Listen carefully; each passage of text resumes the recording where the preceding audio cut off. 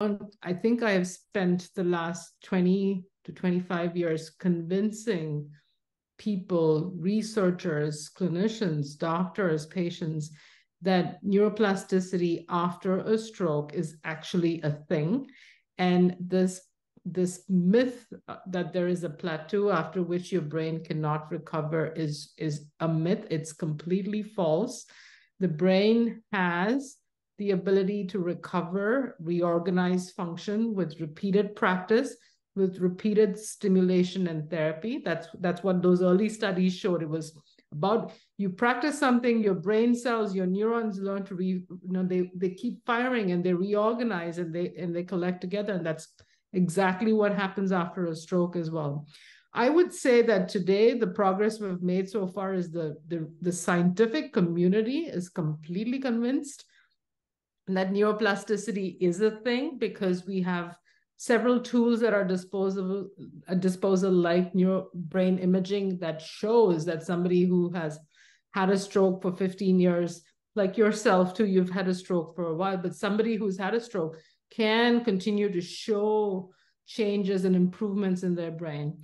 What we have not yet fully convinced are the uh, the entire the the the the neurologists and the funders, the payers, because I think that is when we would have fun, convinced everybody. Because I don't think I don't think we have to. I don't think I have to ever convince a stroke survivor. They know they have the capacity to recover over time so it's it's really pushing the pushing the work over and over again until we can convince payers that even for someone who is 10 15 years after a stroke they have the potential to recover and they should receive the therapy. That's still work that needs to be done.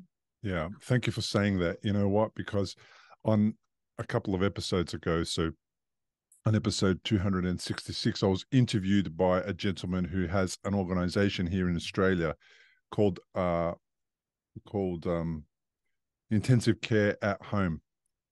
And what he's done is he's pushed to have people come out of the intensive care ward and transfer the intensive care service to their home where the family is.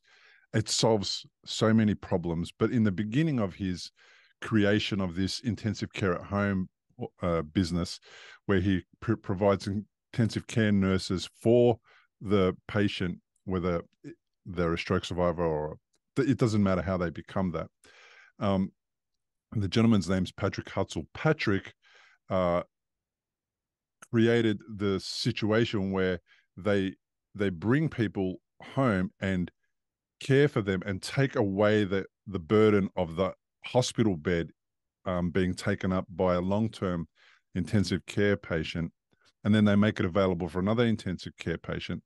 But what happens is he's constantly fighting with insurance companies because they're talking about cutting the funding because they use words like plateau as a tool to stop the funding. They use that as a word that now that you've reached here, there's nothing we can do for you. What we need to do is cut the funding. You're on your own. Well, the reality is, is I know, and stroke survivors know, that the plateau is when the funding should be doubled down on.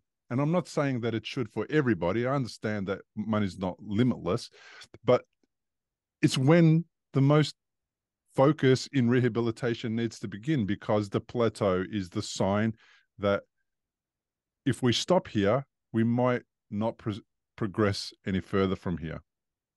Yeah, uh, you're you're four thousand percent right, and I have made it my life and career mission to essentially prove that point as much as I can to change the practice, at least in the U.S. It's it's very very hard but it is what I do in my research is to just keep making that point that there is no plateau. As you said, it's a word that people use to stop funding. So we just need to prove, show more and more and more data to make that point.